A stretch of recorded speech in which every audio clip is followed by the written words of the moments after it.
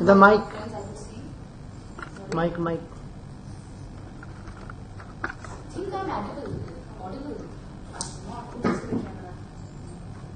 You live children? Good afternoon. So uh, today we like, I'm having immense privilege that I have been given this platform. So I'm so though there is less crowd, but I think I could say whatever I wanted to say. So the topic is theatre and the cultural exchange. So whenever we see say cultural exchange, so it's like first we must know because as I'm a student of theatre studies, I'm pursuing my PhD. So initially, it was a, like theatre studies is like a very new subject. Uh, initially, people used to think that you know English literature and theatre studies that we could merge them and the same, but it's here and never difference like economics and statistics. There's a fine line. So uh, initially, while dealing with this particular cultural exchange, I came across two terms. One is intercultural and one is intracultural. Interculturalism and intraculturalism. So what's the difference between intracultural and intercultural? Inter means I am in India, if I am studying a text, say of Ibsen, Ibsen was a, was a Norwegian author or maybe Shakespeare. Okay? So if I am in India translating a text of Shakespeare or adapting the text of Shakespeare to my local language, say I am a Bengali, so in Bengali I am translating it. If I am just doing a literal translation, word to word translation, if it is a.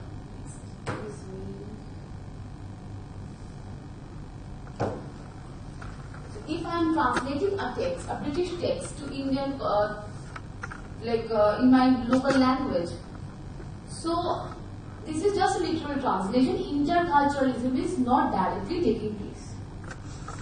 But if I am a translator, I will try to translate it with my own feelings.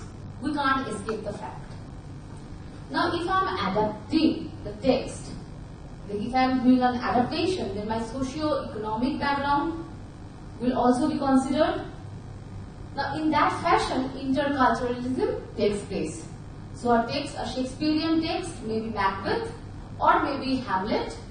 When I am doing it in Bengal, I am just making it little local.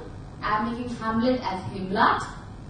Prince of Denmark, I am making him Prince of Goranhata, an imaginary state of Bengal. And what and it had it had been like done by Bratya Basu, who is our one of the ministers in the cabinet in our state. So what's the difference? Hamlet saw his father's ghost. Now in the adaptation, Hamlet's son is talking to his grandfather. Okay, so it's a they have uh, prepared it accordingly.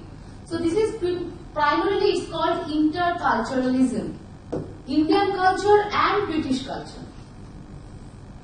Okay, how a particular text has been translated and adapted to suit the Indian audience. Okay, and the context is very important.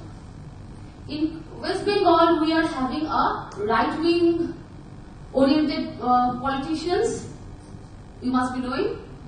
And in the year 1977, when we got, when the entire transition took place and the entire power of Bengal went to the left government, few texts were taking places. Like Utpal is one of the premier uh, writers of those days. So after like he translated and he even wrote few texts just to give a transformation in the political scenario. So that, that will come later on. So this is primarily called interculturalism. A British text become a Bengali text and same author, different backgrounds, different audience, different colors, different locales. Now, next I am coming to the intraculturalism. What is intraculturalism? Again I am coming back to Bengal. Okay. We all know that the mother tongue of Bangladesh is also Bengali or it's Bangla. Okay, it's not Bengali, it's Bangla. Okay? So Bangla in West Bengal is also Bangla, we call it Bengali. So two states having same mother tongue, Bengali and Bangla.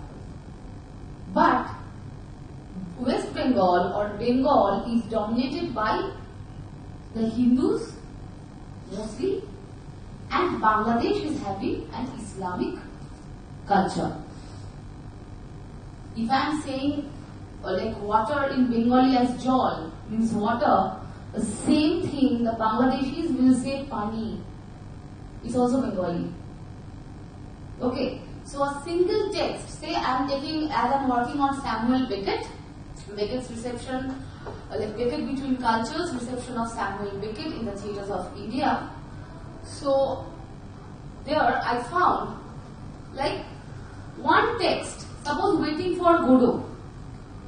Waiting for Godot is getting adapted in Bengal as Ishwar Babu Aschen. Ishwar means God. Ishwar Babu Aschen means coming. God is coming. So, Waiting for Godot. Waiting for Godot is one of the most famous texts of Samuel Beckett. Worldwide it has been translated and adapted. Same text in Bangladesh is been Godor Pratikhai. Godo Pratikhai means waiting. So, in either of that, like you know, is waiting for Godot, but in, in same Bengali language, both of them have like have been given two different names. Babu Aschen or Godor Pratikhai. Okay. Now, why the uh, entire text is getting performed on the stage, the entire thing is different. The way Estragon and Vladimir, the characters were breathing, the way they were uh, given their attires. We all know about the lungi culture, lungi people wear. So the characters were wearing those.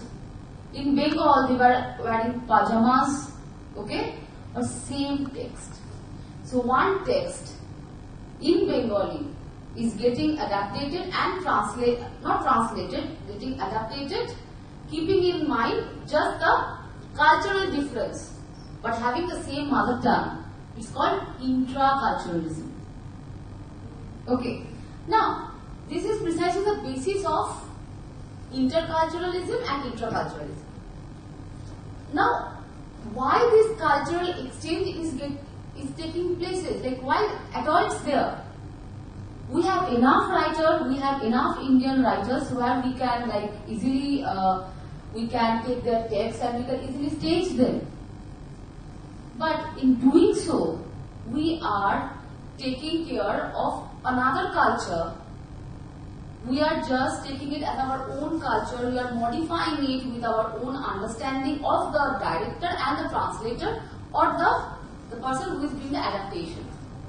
So one text, if I am borrowing it from, suppose Norwegians, The Doll's House, is very famous. Shambhu Mitra, uh, he had produced it in number of times, uh, like Putul Khela, uh, A Doll's House by uh, Henrik Ibsen. Adapted it way back in 50s, 1950s. And it was still now the, in the Bengali text, Putul it is now one of the major texts and people are working on it as a part of their PhD project. So, Henrik Ibsen is nowhere, just in essence.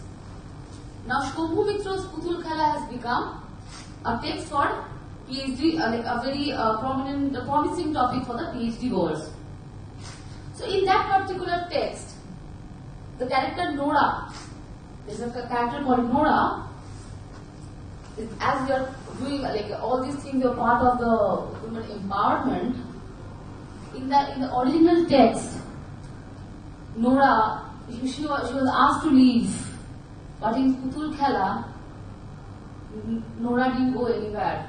So there was kind of women empowerment. And the more we are staging that play, the more we are empowering Nora with our own understanding. Number two is that uh, as I've taken uh, Waiting for Godot, in Waiting for Godot, two men, Estragon and Vladimir, they were waiting for a person called Godot. Okay, who is Godot? People are thinking that Godot is God, God. So God means, you know, that that person must be a Bhagwan or go dot, dot means the center, you know, and stuffs. Now, I did my MPhil with the concept of male friendship. Two men, they were waiting for a person called Godot. So why only two men? If Godot is a god, then even both of us can wait for Godot. Even a girl and a boy also can wait for Godot. But it's two men, they were waiting for Godot, they, they were uh, contemplating suicide, everything. But end of the play, they were not moving, they are still waiting for Godot. So I gave a version of it that maybe the because Samuel Beckett wrote it during the Second World War. So many male friendships were happening during the war. Maybe in today's world, it's like two men, if they're friends, if they're more than a friends, we automatically falling under the category of, you know, uh, we have to uh, seek legal uh, help for that. So if both of them are waiting for Godot, then Godot may be the social approval about their friendship. Okay? And Godot may be that impossible, that that medical thing uh, for uh, for an impossible part out of two men. So Godot can be anything. It, it, it can have a open ending. So this is how cultural thing is happening. And theatre and again theatre and cultural exchange also is taking place uh, in our mind. Again I am raising the question why at all we are going abroad and getting their text. Why not we are here? Why, why, why can't we are here and we are accepting our local authors? Like we have Rabindranath, we have Mahesh Dattani, but still we are falling for Shakespeare, Ibsen, and there are other authors like Samuel Beckett and all. So I was talking to Meenaji just now that you know she will be taking over the holistic development through theatre. Ma'am, like after your you know speech, I might do a sum up so that I can also get some of my answers, like why this is happening. Yes, sure. Over two minutes. Thank you. Thank you, Priyavi. I'm Meena Baluja and I'm from Hand in Hand Workshops. As my name is not there on the screen because I was informed today itself, just one hour back, that you have to take a session. So I'm totally coming unprepared, but whatever I speak, I'll be speaking from my heart. Theatre, theatre is one of my pet projects. And theatre, because we all are, as Shakespeare said, that this world is a stage. And we all are puppets. We all are actors. This is what I believe in. Wherever we go, whichever role we play, we are acting. Not? We play the role of a mother. I have to change my role. If I'm playing the role of a wife, I have to change my role. If I'm playing the role of my sister-in-law, then I have to change my role. My tone, my behavior, my dialogues, my modulation, my personality, my thought process, everything will change. I cannot be a sister and a mother at the same time.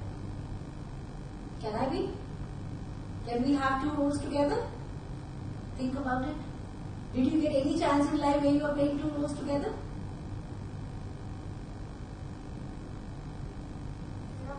Where?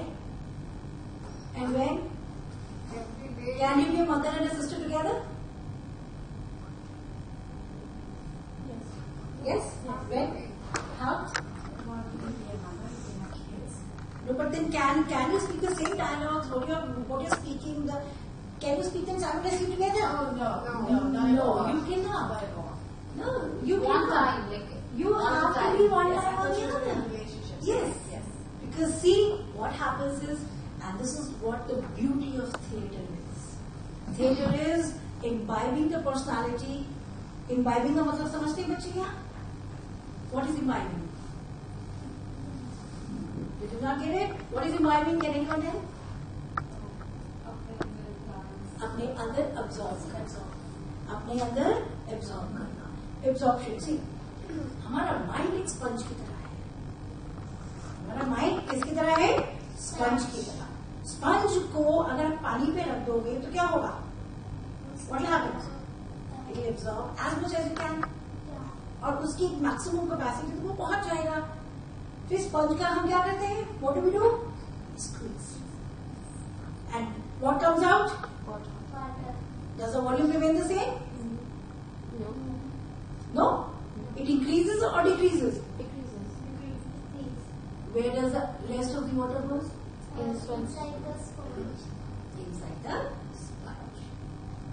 जो हमारे subconscious mind में चला जाता है हमारा mind एक sponge की तरह है आपको क्लासरूम में आपकी टीचर ने पढ़ाया राइट एंड टीचर ने पढ़ाया, वो आपने एब्जॉर्ब किया।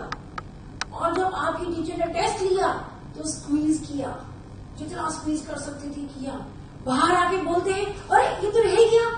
ये तो मैं भूल ही गई। इसको ऐसे ऐसे करके लिखना चाहिए था। I should have use this I should have written my answer in that particular manner what is that the left out which you could not. And it is still there. You have not forgotten it. But the way and manner of writing it, you must not have followed it. And this is what the roles in theatre is. Generally what happens is, every role has some demands. Demands of what? Demands of his own culture. Whether it is a Hindi play, whether it is a Tamil play, whether it is a English play, any language play, Russian play, Shakespearean play, any play you are doing, any any text you are adopting, you have to follow its norms. Then only the beauty of the play will come out. And that is what is there. If you see about Shakespearean plays, the kind of costumes which are required, the kind of stage which is required. If you talk about Russian plays, the kind of costumes which are required, are they similar? No, they are different. And if you talk about Premchand, if you talk about um, Satyajit Ray, if you talk about anybody else, even that also changes. So we have to change as per the need and demand of the role, the character, as well as the beauty of it lies in it. And this is what is there in theatre and cultural exchange.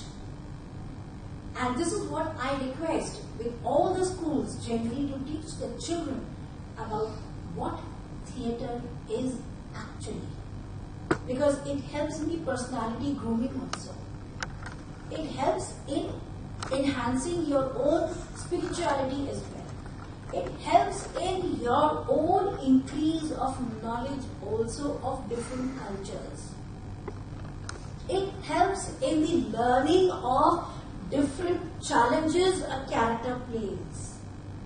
You're putting yourself in those shoes of the characters and thinking about it. That if I, Meena, would have been like that, how would I have taken the decisions? It may be fiction, it may not be fiction, but decision making, thought process is going on. So you, we have to relate it with our personality as well. And this personality grooming is the best medium which you can do from is theatre. So during theatre workshops, whenever, whenever they are they are organized, these are the certain things which are taught to the children. And these children and these children, when they understand the beauty of it, they are able to relate this in their lives. And I request all the parents and all the teachers and all the students as well to surely join the theatre workshops as and when they get the chance to do it. Have you attended any of the theatre workshops? Uh, we are attending uh, this. we have made in the list. We are attending LSG, National School of Drama. Mm-hmm. So what did you learn? So we are, अभी इसमें नाम ही आया है when you are you, are waiting the results. Yeah. Great. Did you? We will let you know. We have few uh, friends.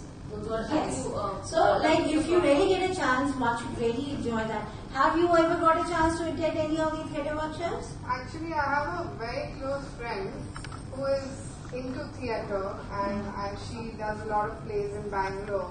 Mm -hmm. And I look at her and I'm, I just tell her that how can you do it? I end up laughing. So can I really try and get into theatre? Me, somebody who ends up laughing and I can't really pay attention and I'm all stuck. What am I going to say on stage? So for somebody like me, what would you suggest? Like how can I get into theatre? Theatre is like, see, there are two things. You're already playing a role yourself in your real life. So, what are you scared of? the stage. The stage.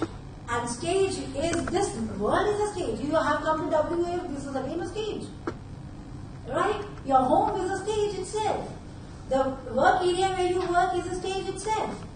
Only difference is there you are on a podium, you are on a stage, you are in a theatre background where you have a backdrop. That is only difference. Right? Point is where we are and what we are trying to enhance. See, theatre acting.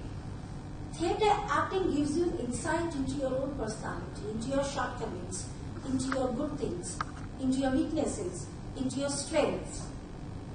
It gives you a control of your inner self.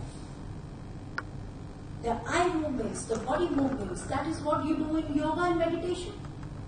What do you do in meditation? What do you do in your aerobics? What do you do in your gym? You control yourself. You learn to control yourself. And that is what you're doing in your theatre. You're learning to control yourself. Holding your voice, giving a pause, stating a dialogue.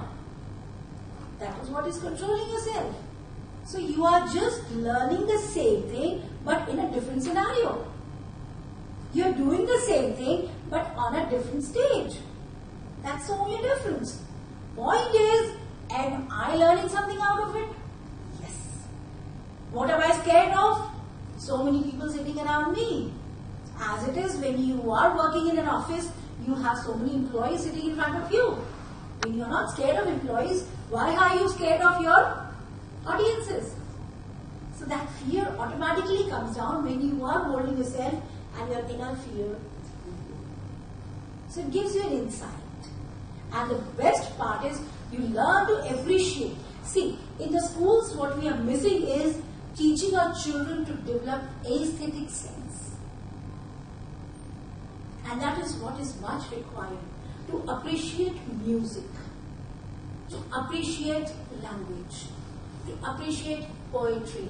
What is happening in schools is English is taught as a subject. Whereas it is not a subject, it is a medium. Hindi is taught in the schools as a subject, whereas it is not a subject, it is a medium. A poet wrote something from his perspective point of view, and why do we have to mug it up? There is no point in getting it mugging it up. Why not we take it as a theatre? Why not we take it as a recitation? Why not we take it as a beautiful orientation of expression? And that is what acting should be. It should be taught in a different perspective totally. And that is what is cultural exchange. Cultural, for doing the cultural exchange, we don't have to go to that particular country. No. We can do it over here in our four walls as well. Point is how we want to do it. Point is how we want to reach out to our children. Point is how and what we want to teach our children. And that is what the beauty of theatre drama is. Theatre drama is connect from heart to. It is attaching yourself to the roots, grassroots. It is taking you to a different world altogether where what is happening? Where you are learning about different people, you're learning about different culture, you're learning about different backdrops, you're learning about different era, you're, you're learning about different stories as such. Take them as stories. What is history? I tell my children history is not history, history is high story. What is history? Is a story of the past. आपको राज तो नहीं है। अकबर तो थे पहले और वो चले गए। हम पढ़ रहे हैं अकबर को। तो हम क्या पढ़ रहे हैं? अकबर की स्टोरी तो पढ़ रहे हैं तरह से so it is not history I tell my children history is nothing but his story you see hi to your stories hi Akbar hi Jahangir hi Nurjahan hi Chanakya you have to say hi to them and see how beautiful it is come out And this is what I want my teachers to learn. This is what I want my parents to understand. Please do not make any topic so dull, drab, boring, so that it becomes very difficult for a child to understand. बच्चे क्या करते हैं history की book हाथ में आती बंद करके भाग जाते हैं इट हैपेंस यस और no it happens Yes. those who believe in it raise their hands and say yes loudly Yeah, me too. A- a- as loud as I as you can Yes. why why are we running away from it why don't we say hi to it hi hi the moment we start saying hi to it we start enjoying it and that is what is acting is why not we make somebody an Akbar? Why not we make somebody a Nurjan? Why, why not we make, you know, turn that story into something very interesting? And that is what acting is. Theatre doesn't have to be on the stage every time. Theatre can be, a classroom can, be converted into a theatre. Beautifully. So, once we start doing it, only thing is, it has to be a different perspective. And that is what I believe. As a teacher trainer, I'm a teacher trainer by profession. And this is what I generally train my teachers to do. Make your topics, make your subjects, make your concepts so interesting in such a manner that everybody starts saying hi to that, not start running away from. And that is what I want to say in this cultural exchange. Every concept, every topic, be it science, be it mathematics, be it your English, be it your any subject in school you're learning, even moral science. Moral science should never be the lecture method. Anything which is done in the lecture method becomes boring and no one wants to read it. So the lecture mode should be removed at all, completely New ways and means should be devised so that it becomes easy for them to understand. Complex, complexity, complex notions. मुझे नहीं अच्छी लगती तो मैं कैसे बताऊं even I I run away from that I think इसको simple कर दो मेरी मेरी लैंग्वेज में मेरे लेवल पे आ जाओ I can very easily understand So this is what I want to bring theatre into school curriculum. And this is what I want to bring changes in this curriculum. And I know I'll be able to do it if I have such good people with me. Right? Thank you. Thank you so much. Thank you, Minati, for enlightening all of us, and that was really beautiful. Thank you. So mine was little academic, and ma'am was little, you know, holistic, and I enjoyed it thoroughly. High story, Thank you. kind of, because I used to run away with whenever I'm coming, like, you know, when I'm in front of a history book, and why is it, okay, Akbar has built an empire, Mughal empire, Babur, Akbar, then why I'm learning? What will, how it will help me? What will I do with it? But after your talk, I really feel that I should again go back and read those books And say hi to her. and high story. so this is precisely the theatre exchange and what I would believe that you know why actually this when I was sitting there I was trying to figure out the answer like why actually these these texts are getting adapted and translated. You know to give more value value to the relation which we are having one to one. Maybe uh, as ma'am said that you know in Shakespeare- in Shakespearean plays we are having long costumes. It's different. Whenever we are doing a text on our independence, so we wear dhoti or something like that. It's different. But end of the day, we all are human. Maybe we look different. Maybe I'm black, they're white, whatever it is. But end of the day, we all have same emotions and sentiments. Am I right? Yes, sir. So theatre is just an execution of our soul, which is which is driven by our society. You know, maybe okay, Priyanka Chatterjee in Delhi and Priyanka Chatterjee in Europe, Priyanka Chatterjee in Kolkata, same person but with different way of looking at life. Because we are in a society which is also driving us. At times it drives us crazy. At times it gives us a lot of good memories. Okay. So another thing, those who want to do some workshop, those who are based in Delhi, so there is a group called Chao Theatre Group. You can write Chao Theatre Group, Hemant Rajpuria. Okay. So they have done waiting for Godot for the kids and they are doing it really good.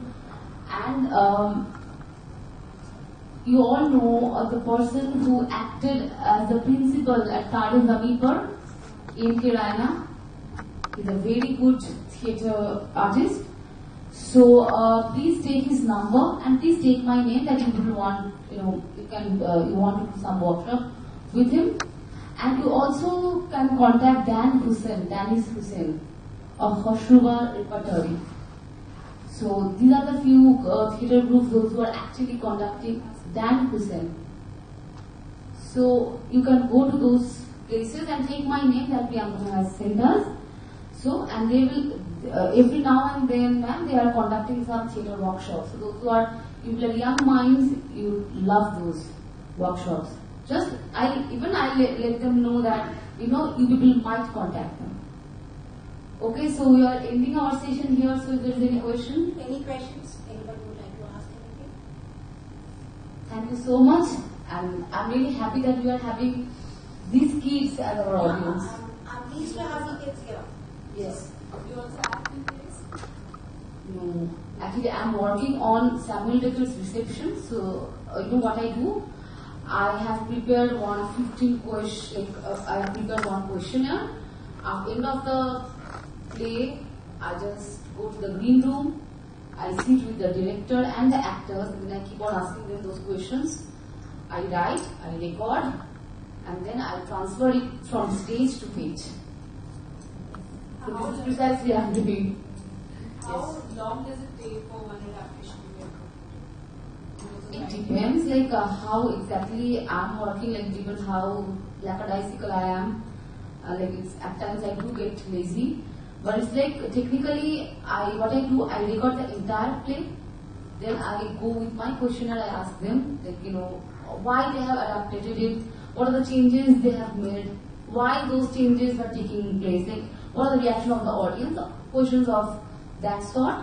Then I try to, you know, I there are a few uh, theories of factory studies, the hourglass model, and it's the, how the one text is, you know, getting filtered and become a text of the local. So all the theory I apply, and then I come up with my chapters. Okay. Thank you so much. Thank you.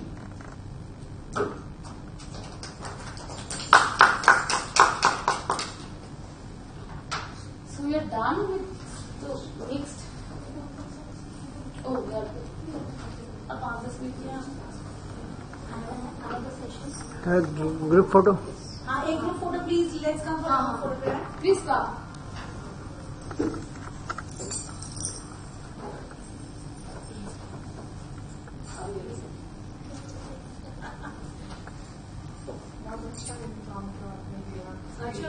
totally unprepared. aku apa yang ada murid ni kan kata saja. Kalau dia hai macam cara kau nak dia.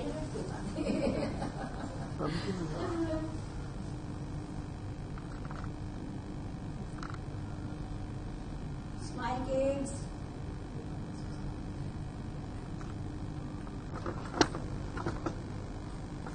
Ini dia yang.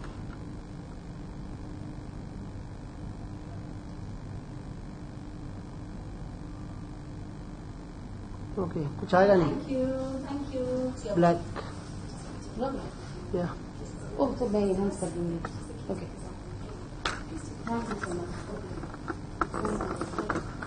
you so much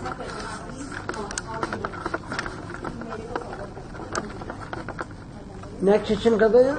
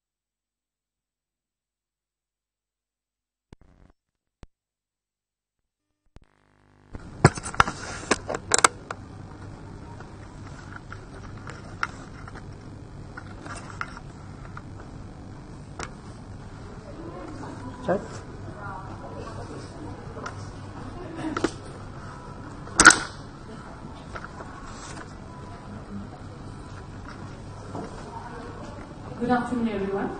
Um, today's topic is Giving and Philanthropy, the Social Enterprise Case Studies. For this, we have an esteemed panel, Evelyn Khumbanyiwa from Malawi and Vijayalakshmi from India. So uh, let me hand over the mic with Evelyn, which is going to start. Good you. It is a pleasure to be here. Mm before I start, I would like to Mike, reach everyone this as the master, Mr. business Master Osama Mojaja has already uh, introduced. Uh, the topic to discussed is about giving and for social enterprises. Uh, the idea is that non-profit business venture can create positive social impact while operating with to a commercial economy. Social enterprise explains that it is an important development tool. Create job opportunities for the disadvantaged, homeless, and other at-risk and other at-risk people. A good example are projects implemented by Counterpart Alliance for Partnership under a grant from U.S. Agency for International Development and ensure it's called USAID. These are the inputs the projects. Business trainings, loans, legal advice, and. The other example could be the Peace Beauty Culture Association. This NGO founded creative workshop to produce and sell ex- exclusive clothes for children and youth using natural fibers decorated with traditional Ukrainian art in contemporary designs.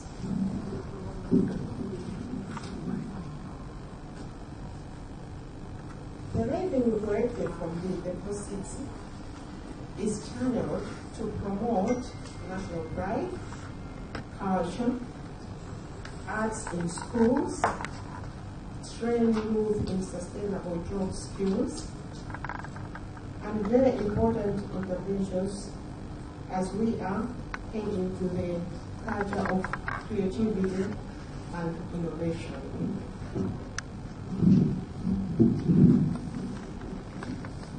I wish to share you with another dimension of giving. In shaping the agenda for gender mainstreaming and building sustainable com- communities, I feel I should talk about the energy sector. In the spirit of giving, economically empowered women create healthier, more sustainable societies.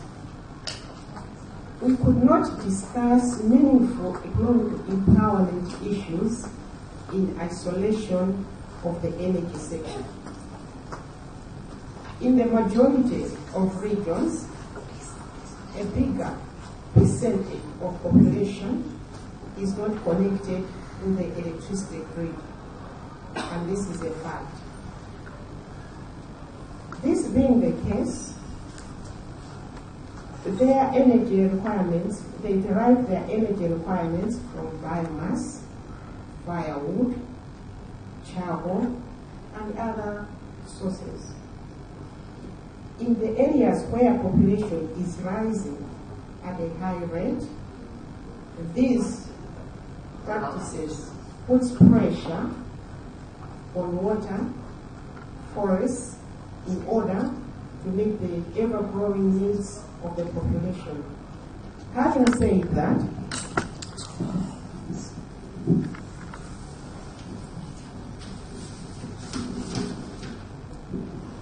some case studies are in place. The biogas energy. In some families, they have a reasonable number of livestock it may be ideal to support these families with biogas technologies by installing biogas digesters to enable them meet their household energy requirements. The technology is already available in Tanzania, Kenya, and in Malawi. Reforestation initiatives. Deforestation has taken in place has taken place unabated in Malawi for a long time. This has resulted in severe deforestation and environmental degradation. Some efforts are being made at community level to rehabilitate hill slopes, river banks, as well as establishment of woodlots. There's an NGO called Total Land Care, which is taking this initiative. And as an incentive to the community, they distribute goats, and when these goats are produced, one family pass it on to another, and then it goes around the community. This is basically to empower them to, with uh, economic uh, resources so that they can, their livelihood is sustained. Fruit tree growing. In another dimension, communities are geared to plant grafted and valid fruit trees in order to advance household nutrition, household incomes. Hopefully, some industry could also emerge to process the resultant fruits into food juices and in the process improve household income. Women empowerment. It is a known fact that empowering women goes a long way, supporting the entire family in form of nutrition, family incomes, gender well-being, as well as children's education. In some parts of the world, education, you have to pay for it. High schools, for example. In other, in other developed countries, I'm sure education, this children goes to state schools, but it's no longer the case in other parts of the world. Women in most communities are already organized into groups, and such groups could be used as a platform for the various demand-driven economic empowerment initiatives. Having said that, these could include supporting them to access loans, support them to access uh, markets for their agricultural produce. It's unfortunate that women, especially in sub-Saharan countries, they constitute a bigger percentage in terms of production, like working in fields, in, in, gardens. But because they don't have access to markets which can give them a premium prices, their hard work, hard work uh, yields, which they they end up in the hands of middlemen. And these are the people who get the premium price. And I view this as a bit unfair. So in forums like this, I think it's a good platform whereby we can share and brainstorm and direct and lead each other how these uh, social enterprise can be of high beneficial to the beneficiaries. Uh, there are efforts being made. These efforts are attributes progress would be made towards contributing to uh, gender pay gap. A recent research and deliberations in some forums clearly shows that by not closing the gender pay gap, there are various worldwide economic consequences. In fact, according to McKinsey Global Institute report, advancing equality will add about United States 12 million, 12 trillion dollars globally in just 10 years if these gaps can be and we attain equality. After having said that, I attended one of the plenary sessions yesterday, not yesterday or the day before yesterday. The projection is that it will take about a century for this.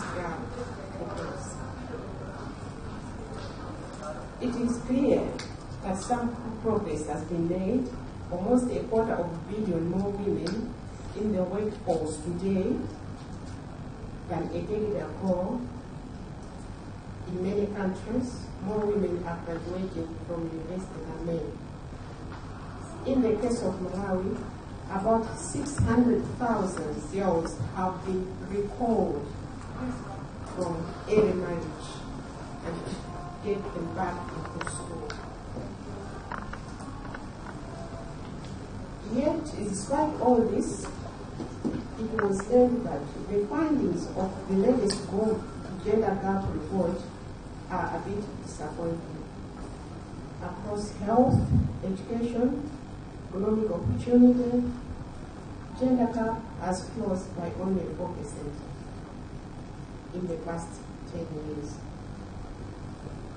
The economic gap has closed just by 3%.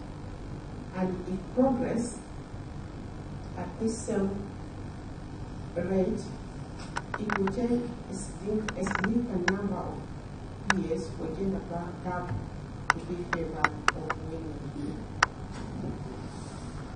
These are the most challenges we are trying to fight when we are attending these forums. When we look at Africa, the picture is even more discontenting.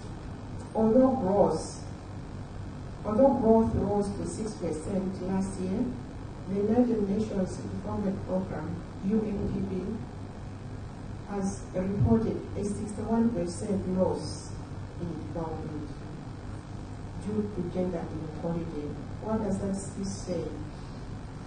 This illustrates clearly that more than 50% of African population is not being used optionally. We could draw some assumptions that a bigger percentage comprise of women. And I'm sure this scenario would be also uh, there in other parts of the world. Therefore, everybody is welcome aboard to take active steps so that no one is left behind. Finally, we should embrace the culture of accountability and transparency. Those of us, those who are the recipients, so that the donor agency, the one who is giving, should have trust and be encouraged that the yields are actually moving from the lower level to the higher level.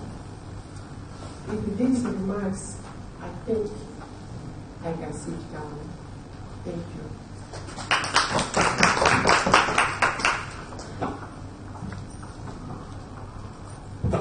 Um, thank you, Evelyn. And now may I introduce our next speaker, Vijayalakshmi ji. She is the founder, secretary, and trustee of Heritage India. Please welcome her. I think you can hear me without this much. No, actually, we would need it for the recording. Alright. Uh, namaskar and I welcome you all to this uh, session and uh, those of you who are not from this country, I welcome you to this beautiful country of ours called Bharata. At the outset, I'd like to thank the organizers, especially Dr. Rupa Vasudevan for giving me this opportunity to share some of my thoughts on giving, philanthropy and uh, social enterprise. At first, I'd like to speak about the art of giving. Our country has always instilled this idea of giving. If you look at traditional homes, it always had a veranda in front. And this was meant for weary travelers to rest. And if they happened to be there at the time that a meal was served, they got the meal. Then there were dharmashalas, which was for people who did not have enough uh, income and they needed food. And then the temples were, of course, a haven for people without uh, resources. And then we had the temple supported uh, scholars and uh, dancers too. And the large lands that belonged to temples were given to farmers to cultivate with no fee paid. And the only condition was that they would have to share a part of it to the temple, once again to feed people. So this has been sort of embedded in us. But I'm sure you all know, you know, for a thousand years what has happened in this country. We've had invasion on invasion, and then uh, people came in to colonize, you know, to trade, and then they just took over. And uh, it's just been 70 years since we have, you know, our aggressors have left the borders of this country. But the trauma of what they did, we are still suffering. I mean, when you look at the newspaper every day, you know what happens in wherever we have been divided. But having said that, I'd still like to say that we've done pretty well for ourselves and you know, there is a gradual change and we are moving again towards this concept of giving. Uh, Swami Dayananda Saraswati, who's, um, my, who's my guru and I had the good fortune of being with him, said that the soul of Hinduism, or that is what uh, the way of life here, which was called Sanatana Dharma, is called now, is giving. It's being a contributor and not just a consumer. And there is something called Purta Karma.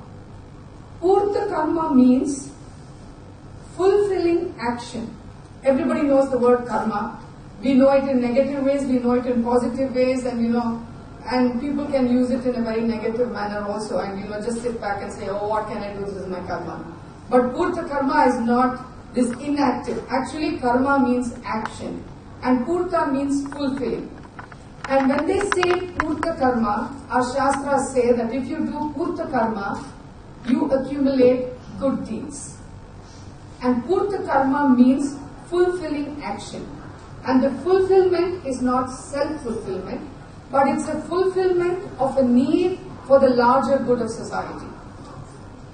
And when you do an act of Purta Karma, the satisfaction that you get from that is immediate because you see the results. And Purta Karma is one way of building our own self-confidence. And it's a certain uh, attitude that we start developing of giving because the result is something that you see and the only result is of having fulfilled a need for the larger good of society. But when you do Purta Karma, they are very clear in talking about the attitude of giving. There is an attitude in giving. It's called Shraddhaya Deyam. That is, you give with a sense of Shraddha. Faith. Faith. Uh, it's not really faith, but, uh, well, I mean, English language being what it is, Shraddha. And then they say, do not give with pride. Ashraddhaya adeya. So do not give with pride. Then they say, give with all the wealth you have. Shriyadeya. But then they say, give with the fear that what you give may not be accepted. So Swami Vivekananda says that when you give, the giver and the receiver are both equally blessed. So there is nothing called pride that should come into this act of giving. And now if I say that we have to give, I mean it's all fine to say we have to give, we have to, but to want to give, what is it you need? You need empathy and you need compassion. And so I'm going to speak from a very different angle about a social enterprise that we run which is a totally not-for-profit organization. So I really don't know what I'm doing in a women's economic forum because now when you say economy, it's all to do with the exchange of money moving from hand to hand. But I think intangible wealth goes way more than tangible wealth. And so somewhere in the 1994s, um, we suddenly saw, I come from Bangalore, which was a very laid back, soft, gentle town, which had a lot of scope for the aged and the children, and the elderly felt it was a very nice place. But come the 90s, suddenly things started changing. On the one side, people were saying, yeah, there's development. But when we started looking, life was changing at an alarming pace. There's something called slowness, slowness in life. I don't know if any of you have heard of the slow movement. The slow movement is a movement where people have realized that in this fast pace of life, you stop being connected to people. It's not just to people, it's just to anything. Even for example, a meal. You're really not connected to your food because you have your cell phone on one side, you have an iPad somewhere else, and then you have somebody else telling you something else, and there's no connection even to your food. Forget about having connection to the person sitting across the table. I mean, I often go to a hotel, and when you see four people sitting at a table, everybody is WhatsApping someone who's not present. There's no connection to people. So they started what was called the slow movement, where people wanted to actually connect. Now you rarely connect. I mean, there's this wonderful media called, I mean, you can use it for good things, but it can also be a very negative thing called Facebook, where you're connected with everybody who's not present, while the people who are present are just not there. So we looked around and we said, well, we want to do something about this, but what do we do? And then we noticed one thing, that raising funds for community had started becoming more and more difficult the traditional and classical arts were losing audience, losing ground, and uh, we didn't know what to do about it. We sat down, we said, well, we want to do something, but what do we have to do? So then we said, well, if we want giving to happen, then we need empathy. We need compassion. So we said, how are we going to bring back this sense of compassion and empathy into society? And then we started thinking, well, art is a very important quotient in society. People imagine that, oh, art is for the stomach that's full. But that's not true, really. I mean, when I say the stomach that's full, I mean somebody who's satisfied. But even to have that sense of satisfaction, you need heart. And if you need heart, you need art. So we said, well, let's address this one issue in society which is kind of moving away because people are too busy with anything. So we said, okay, let's start bringing art into society. And then we thought, now, how do we do this? There are so many performances that happen. With, uh, you know, you have to beg for audience to come. Like I thought at the beginning that, oh my god, now we don't have anybody here. I said, well, if there are four people, it's good. I mean, four people are actually going to listen to you. But I'm sure somebody stood out there and said, come on, come on, come to the session. I know this happens in conferences, especially when it's parallel sessions. But that's okay. So we said, okay, we have to do something about this. So several of us deliberated and we had a lot of conversation and then finally we said, let's do a festival. Let's do a celebration. Because, you know, otherwise what happens is we all tend to sit down and discuss everything that's negative. I mean, where there's negative, there is positive too. You open the newspaper in the morning, it's like, oh God, why did I wake up today? Because everything is bad. You turn on the news channel, it's the same thing. So we said, well, why not we do something that's celebrating? Let's celebrate. It doesn't matter. I mean, if your stomach is empty, you celebrate, your heart gets full. So we said, let's try this. Meanwhile, things changed a little. Where there were community needs that were tangible, people actually started giving. But this giving was not out of the goodness of their heart, but because there was this new thing called CSR, you know, which is kind of like, you better give it, you know, your company needs something, you better give CSR. And I've seen some companies where they give CSR, they don't even know why they're giving, what they're giving, there's no involvement there. Because when giving, you need to be a part of that giving. You need to actually give of yourself. So we started this, um, we run two festivals actually. And besides the two festivals, we also do uh, some tangible work of feeding, uh, you know, about 100 uh, rural children. We have our own little family trust from which we uh, make hot meals for this little school that's uh, semi-rural, semi-urban. It's not really urban, but it's rural on the outskirts of Bangalore. We also do other things other than just the meal. We have some welfare programs for the village. But then we said we have to somewhere fill this lacuna where the person on this fast track at least has a small space of slowness in their lives. Now we are disconnected from our heritage, we are disconnected from, from our culture, we are disconnected from our language. I mean, it's, it's just disconnect, disconnect, and more disconnect. And we've lost our cultural roots. And more often than not, you know, I have seen some youngsters who, you know, uh, nothing wrong with the youngster. It's, it's probably what, what they have seen, what they've come down with, who have no clue of who they are. This happens more in the metros, not in the uh, smaller towns. And so we said, okay, let's choose heritage spaces. We said, let's take old temples, you know, which are over 400 years old. There aren't too many in Bangalore, but there are some.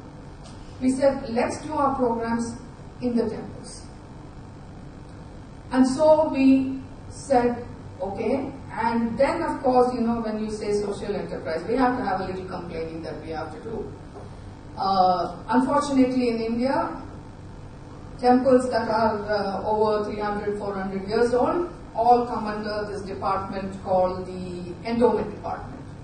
So the government has taken over those temples. So now you need to get permission.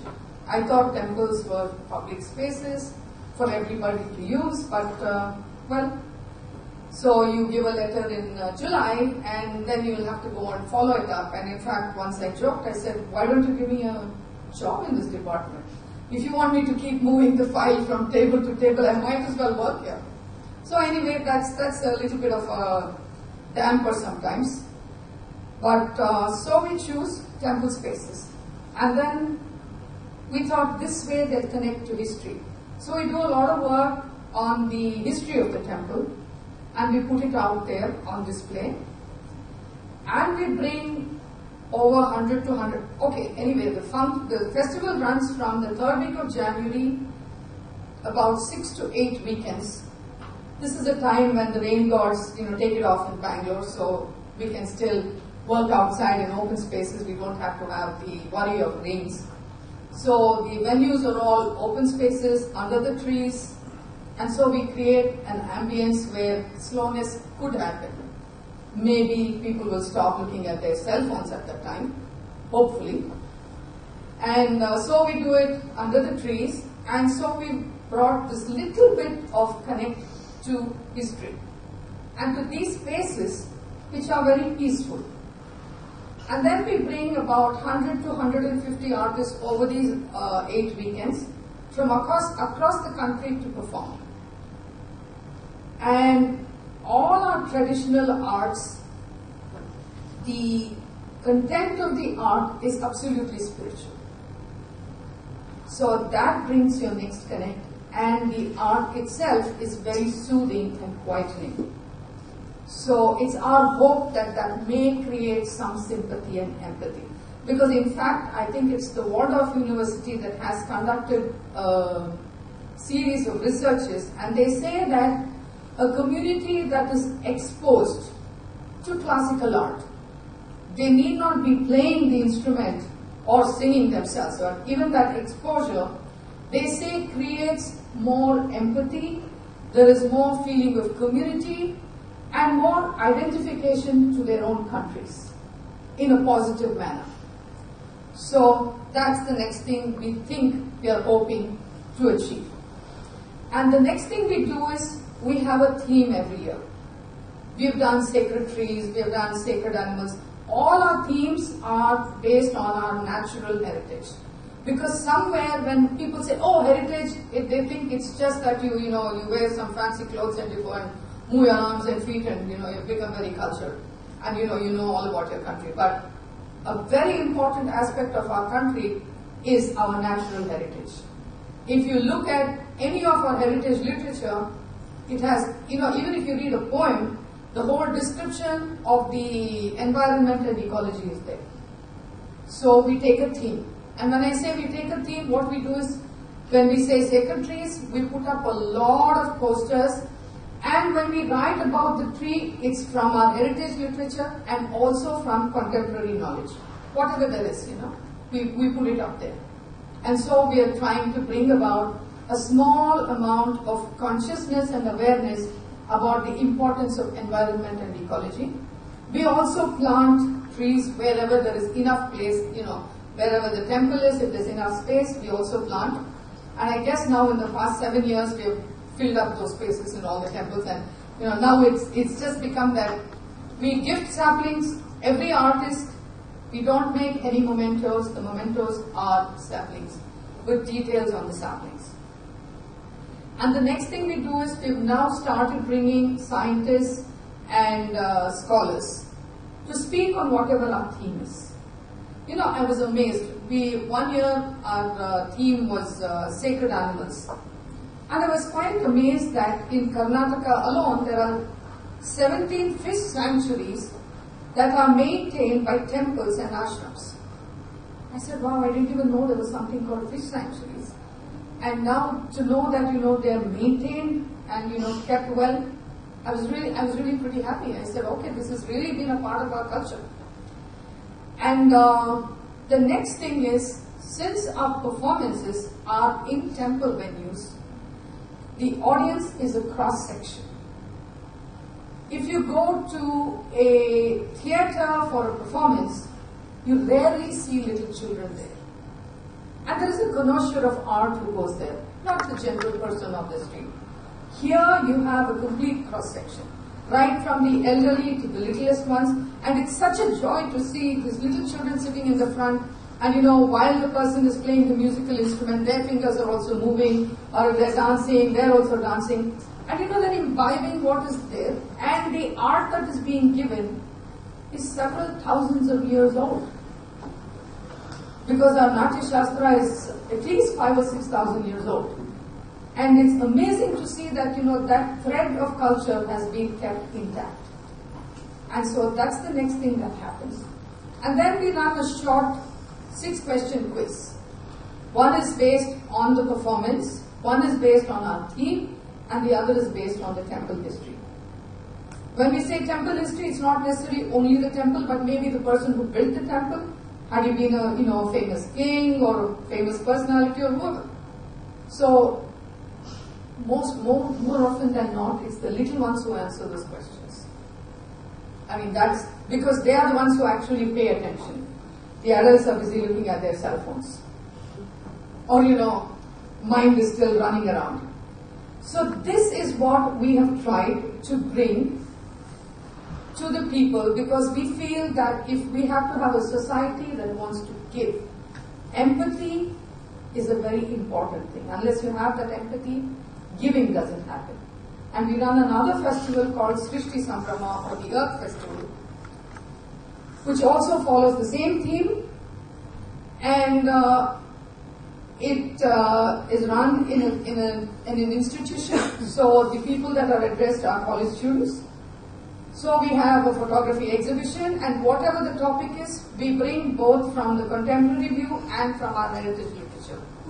You'll be surprised to see what an amount of uh, knowledge there is in our heritage literature. It's, it's just amazing. And, uh, and then we also plant uh, a thousand trees in the green belt area. And uh, the past uh, year, we've had a lot of support from uh, Dr. Rupa Vasudevan's institution. And uh, when I said we take a theme, we had a really nice theme this year. It was uh, sacred flowers. And we said, let's trace um, flowers and flowering plants that were in our country for a few thousand years. And so we said, let's take flowers from the Ramayana. You'll be amazed to see that in our literature works, there is so much detailing of geography, of the flora, the fauna, the rivers, the mountains. So it was quite a job, but um, we had the cooperation of the Right University to do that for us. So we put up in each, and then you know, it's called self-flagellation. So we couldn't just do one theme for the whole festival. So each venue had different themes. So we said flowers from Mahabharata, flowers from Ramayana, flowers from Ayurveda, flowers from uh, literature, flowers that are used for uh, puja. So we had to look through several hundred uh, verses. And um, what impressed me is that at first, when we did it the first year, we had taken so much of effort to put these displays up, and then we said, oh, you know, we have this attitude, oh, the temple goer, I don't know whether they're going to be bothered with all this. But it's quite amazing that they stand there. More often than not, sometimes they may not sit down for the performance, but they're sitting there reading all this material. And now they've started taking pictures.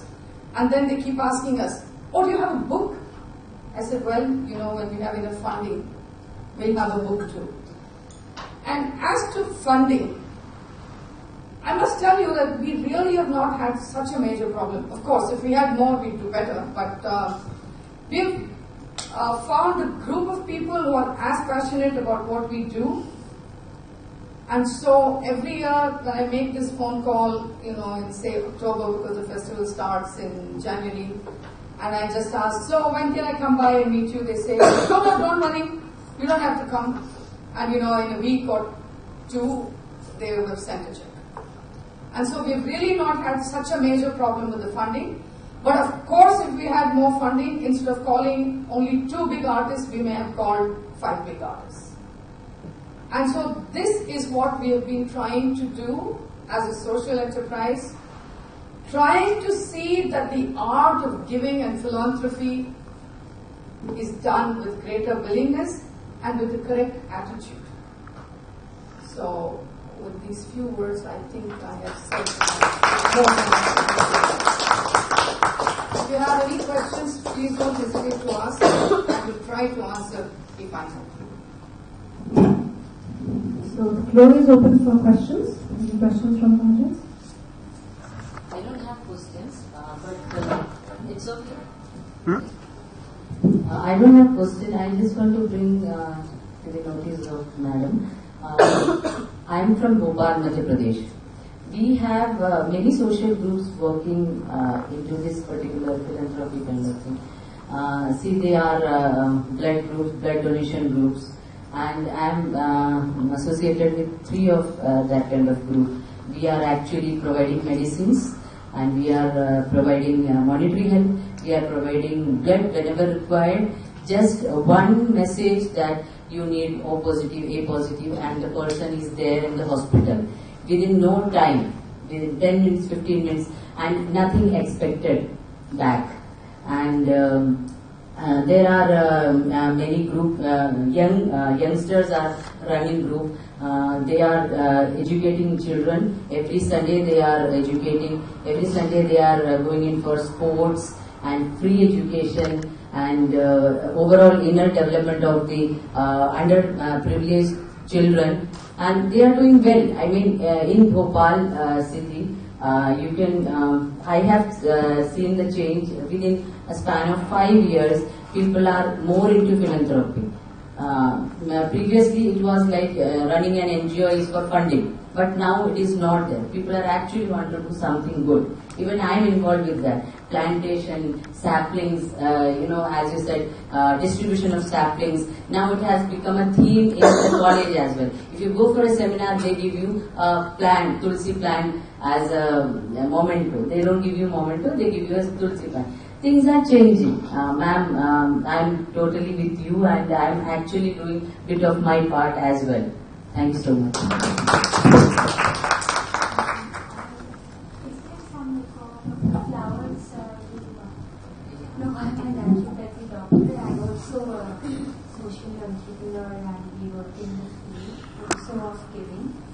But uh, I was particularly interested about the flowers, uh, the collection of knowledge that you would have uh, made on the, you know, the heritage Yes, flowers. yes, yes, we do. In fact, uh, the Light University is planning on creating a small uh, museum with uh, all this information and the flowers.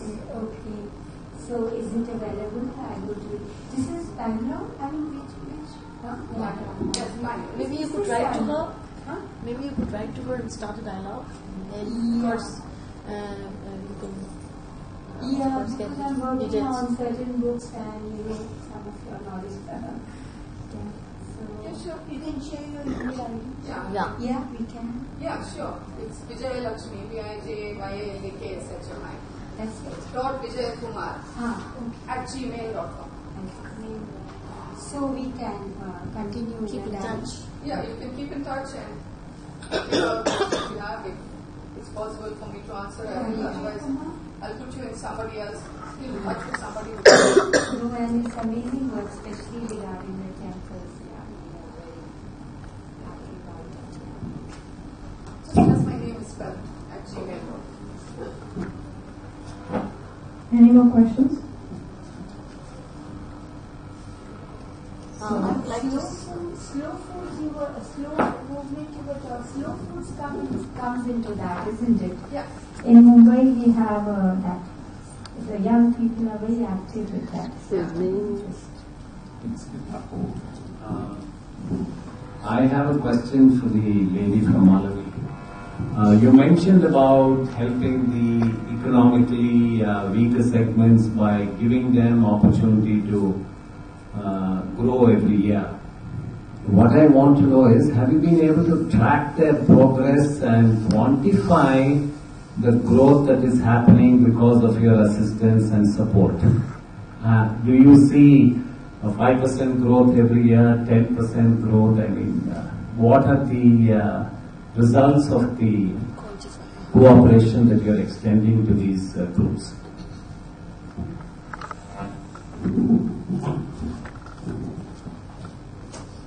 That's a very good question. Uh, the thing is, uh, the NGO has just started after realizing that there are those gaps and groups.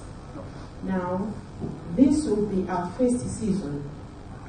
And in fact, my main reason of coming to India is to try to establish a relationship with the buyers of pigeon peas.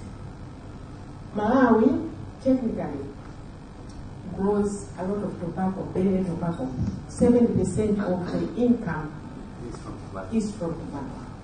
And with the anti-smoking lobby, everybody is aware of that. So we are out of money. Therefore, what do we do? Diversification is the way forward. Now, why we're working with these women groups is because these are the people who are effectively affected with the growing of toba- tobacco in the gardens. I would say that in terms of quantities, more than more than 200,000 metric tons of pigeon peas, which is processed into dal. I'm sure you you know what I'm talking about. Lands in my mind. but who are the initial producers? Who are the people who sweat in the gardens? It is this women.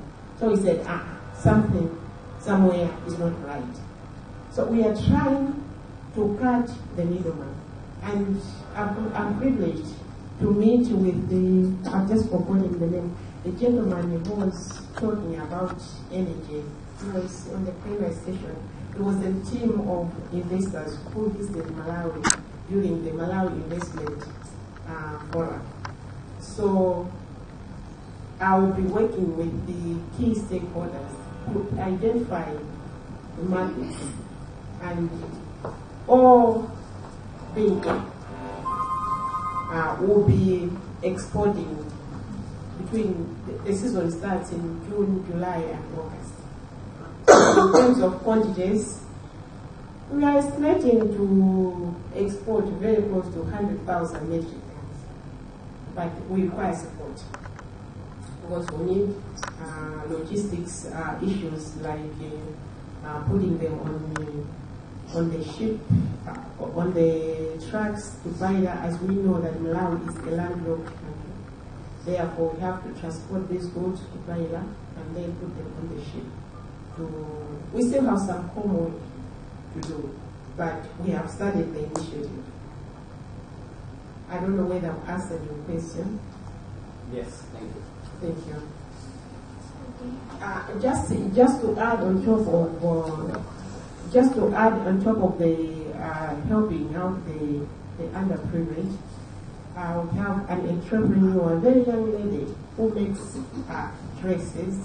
She's a designer, and this dress I'm wearing was made by her team who are disabled.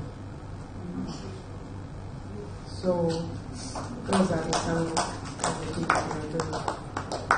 Thank you very much. It was a wonderful audience, very stable audience, willing to listen, willing to contribute, and we have really enjoyed this session. I have to also thank Mama, I pronounce the name, for expounding further on the uh, social enterprise that is happening in India and tracing back to the uh, your culture heritage. It was a wonderful moment for me and an honor. Thank you very much. Uh, thank you so much. Uh, questions? No, no, no, it's okay now. We can take the groups. It's okay. You have time. Yeah, we can. For one Okay, a little more about Madam Vijay Lakshmi. I've known her for about two years now. She is a pilot by profession. I don't know whether they said that in the introduction. Uh, pilot. She stopped flying because uh, she found it. Um, um, uh, she's she's the first woman who went cross country. She's the first woman. And besides all her achievements as a philanthropist, in the true sense of philanthropy, she's a and she's a great leader. She's a great grandmother. She's a great family woman, and uh, I'm totally in awe of her. That's it. Thank you.